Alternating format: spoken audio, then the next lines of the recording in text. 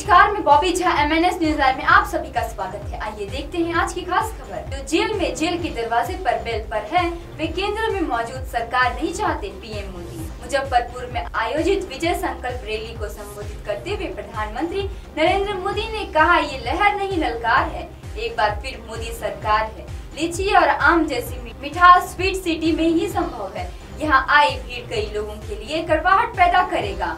चार चरणों के बाद ये लोग चारों खाने चित्त हो जाने वाले हैं। पीएम मोदी ने कहा कि उनकी ताकत बढ़ाने का मतलब है बिहार को फिर से पीछे ले जाना।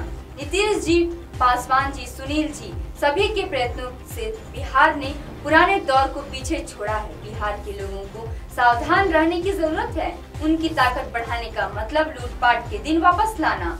उनकी ताकत बढ़ाने का मतलब हत्या, अपहरण, गुंडागर्दी, घोटाला की वापसी। पीएम ने कहा कि ये जाति में बंटवारा, अपना स्वार्थ साध रहे हैं जो जेल में जेल के दरवाजे पर हैं। जो बेल पर है, वे सब केंद्र में एक मज़बूत सरकार को बर्दाश्त नहीं करना चाहते हैं। उन्हें हर काम का हिसाब देना होगा। गरीब का एक एक पैसा लौटाना होगा। भगड़ों को भारत वापस आना ही होगा। स्वार्थ और अपने हित के लिए महा मिलावट वाले की मंशा समझनी चाहिए। ये इतनी सीटों पर भी नहीं लड़ रहे हैं कि लोकसभा में नेता विपक्ष का पद भी हासिल कर सके। इनकी आपस में ही लड़ाई चल ड्रग्स रखने के आरोप में भारतीय कारोबार नेस पाटिया को दो साल की सजा। भारतीय कारोबारी और आईपीएल की टीम किंग्स इलेवन पंजाब के सह मालिक नेस पाटिया को जापान की एक कोर्ट ने ड्रग्स रखने के आरोप में दो साल की सजा सुनाई है।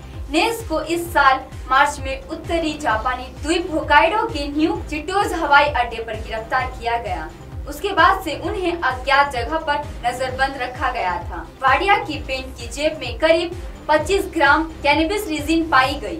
एनएचके के एक स्थानीय स्टेशन की जानकारी के अनुसार कहा गया है कि नेस वाडिया की जेब में ड्रग्स होने की पुष्टि स्नीफर डॉग ने सैतालीस साल के नेस वाडिया ग्रुप के चेयरमैन नुसली वाडिया के सबसे बड़े बेटे हैं, जो कि फोर्ब्स के अनुसार करीब सात अरब डॉलर की कुल संपत्ति के साथ भारत के सबसे अमीर कारोबारियों में शामिल है। नेस वाडिया समूह के सभी यूनिट्स के निर्देशक है। इसी समूह को 1736 में ईस्ट इंडिया कंपनी के लिए जहाज़ बनाने का मसौदा मिला था। अब वाडिया समूह बिस्किट कंपनी, ब्रिटेनिया और बजट एयरलाइन गो एयर के कारोबार में भी शामिल है। चौकीदार चोर है मामले पर सुप्रीम कोर्ट ने राहुल गांधी को लगाई फटकार। कांग्रेस अध्यक्ष ने मांगी माफ़ी।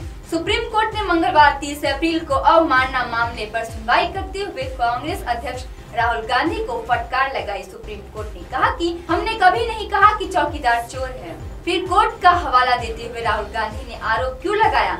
इस पर राहुल गांधी ने सुप्रीम कोर्ट में सुप्रीम कोर्ट से मैं भी चौकीदार बयान पर इस बार खेत की जगह माफ़ी मांगी है। राहुल गांधी की तरफ़ से सुप्रीम कोर्ट में पेश उनके वकील और कांग्रेस नेता अभिषेक मनु सिंघवी ने माफ़ी मांगी।